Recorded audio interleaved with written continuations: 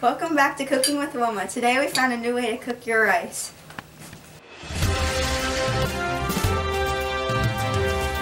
Breaking news! This just in. We have more information about the Battle of Saratoga.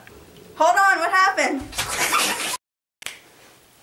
Some background information on the Battle of Saratoga. The two battles that have just ended were 18 days apart. They have caused a turning point in the American Revolution that has been going on for three years now. The first battle took place on September 19, 1777 at Freeman's Farms. British General John Burgoyne led the British south and stopped about 10 miles below Saratoga. American troops were led by Horatio Gates and Benedict Arnold. Arnold won permission from Gates to lead Daniel Morgan's men and Henry Dearborn's light infantry into the woods to block the British flanking column, troops attacking from the side in order to prevent them from moving forward. Guys, Burgoyne Burgoyne attacked Wilma? first while a militia of sharpshooters from Virginia harassed the British. Other colonist forces aggressively charged into battle. And during the afternoon, Arnold brought in more troops until Gates broke off the action, leaving the worn out British in possession of the ground. Burgoyne lost two men for every one on the American side, but still won very effortlessly. This battle was a small but costly victory for the British. So what happened at the second battle? This battle began on October 7th at Bemis Heights, but since Burgoyne and his troops were the, won the first battle, they were overconfident that they would win this battle.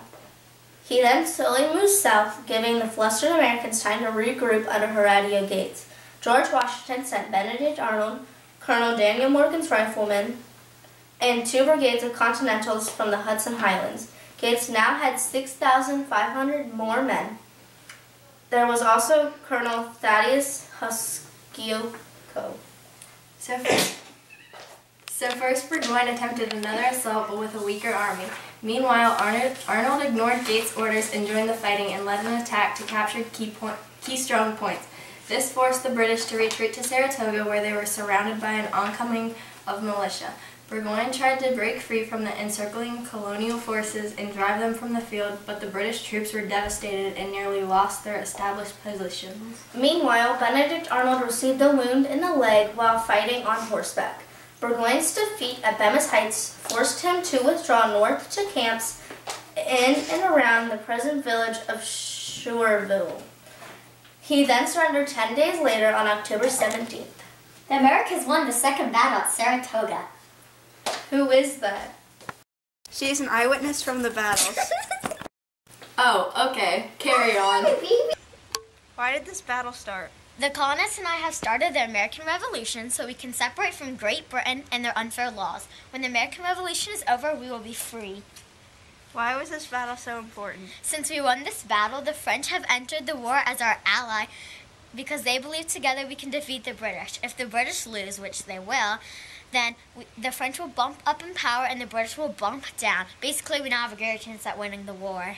I see. What events did you take part in during the Battle of Saratoga? I cared for injured soldiers and even disguised myself to help take out the British soldiers.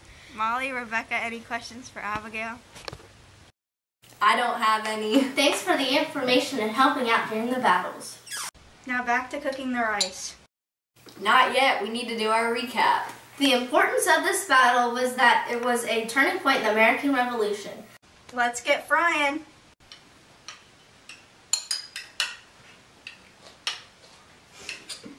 For life.